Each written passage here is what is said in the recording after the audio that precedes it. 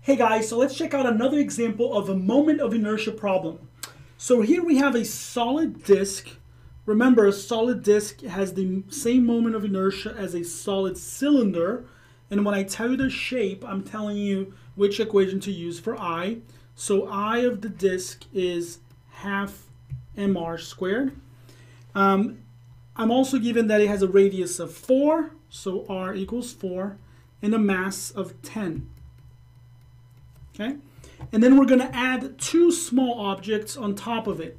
The fact that it's saying two small objects and it's not giving me a shape for the object, it's an indication that these are going to be treated as point masses. Okay?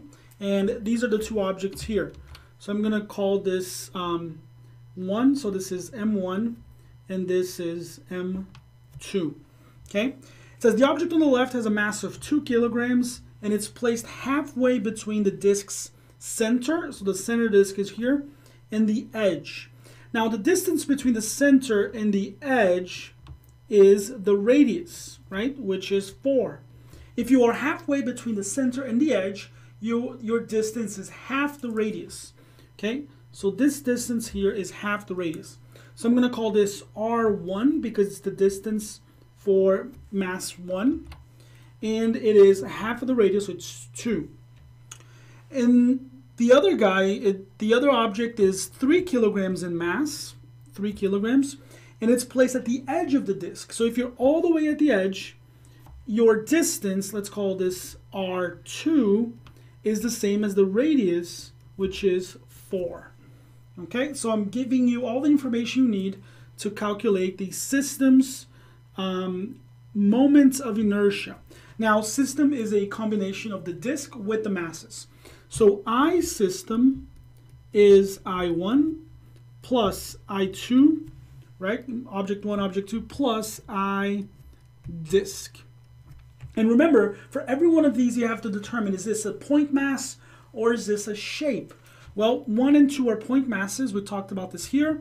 So I'm going to write m1r1 squared plus m2r2 squared. And the disk is a shape and it has moment of inertia given by half mr squared. Half big M, big R squared. Now all we got to do is plug in the numbers, very straightforward. So what I'm going to do is plug the masses. The masses are 1, 2, and 10. So uh, I'm sorry, 2, 3, and 10.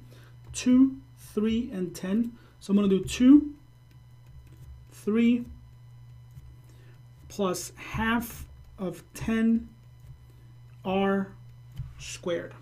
Okay? And then all we have to do is plug in the r's. This r here is the radius. It's very straightforward. We know that. The radius is a 4, so I'm going to put a 4 here.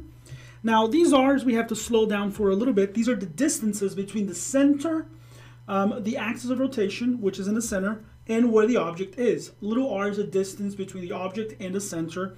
And we already had these figured out here. It's 2 and 4. So the 2 kilogram has a 2 meter distance, and the 3 kilogram has a 4 meter distance. Okay, so let's just do this real quick. Um, this is going to be 8. This is going to be um, 3 times 16, so that's 48. Um, and this is going to be 80. Okay, so we have 8 plus 48 plus 80 and this is going to be 136 um, 136 kilograms meter squared. Cool. That's it for this one. Hope you got it. Let me know if you have any questions.